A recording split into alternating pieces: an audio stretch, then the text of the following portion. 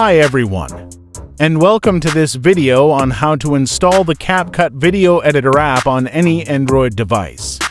To install a CapCut on your phone, you will need two applications. One is the Aurora Store and the second any VPN app. The Aurora Store is an open-source app store that allows you to download and install apps from the Google Play Store without needing a Google account or Google Play services. This makes it a great option for users who want to maintain their privacy or who don't have access to the Google Play Store. To install the Aurora Store app, you'll need to first download the APK file.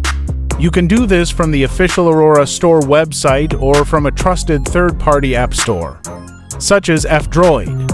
On the official website, you can choose the version that you want to install as I already have a stable version installed so I will go with Nightly Build. Now choose the version you want to install. Once you have downloaded the Aurora Store APK file, now you need to install the app on your device. Once the Aurora Store app is installed, you can open it and start browsing and installing apps. However, before you do, you'll need to set up the app by following these steps. Now here select the installation method you want by default.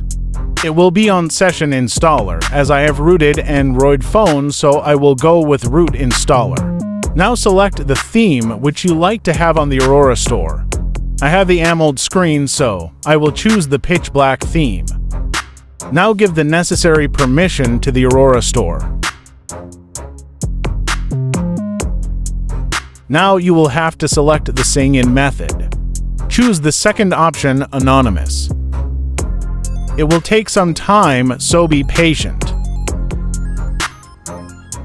Now, as you can see, we have finally entered to the Aurora Store app.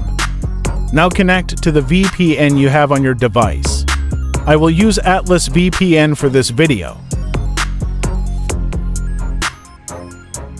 After connecting to VPN, go back to the Aurora Store app and search the CapCut app and then click on the first app. As I already have the app. So it will show me to update the CapCut app. Remember one thing you will always need to make use of VPN. To edit the video as Video Editor works online, it is not an offline platform.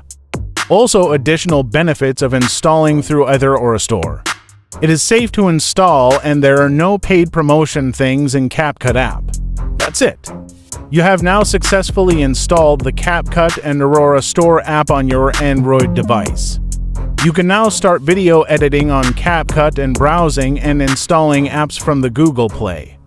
Store without needing a Google account or Google Play services using Aurora Store.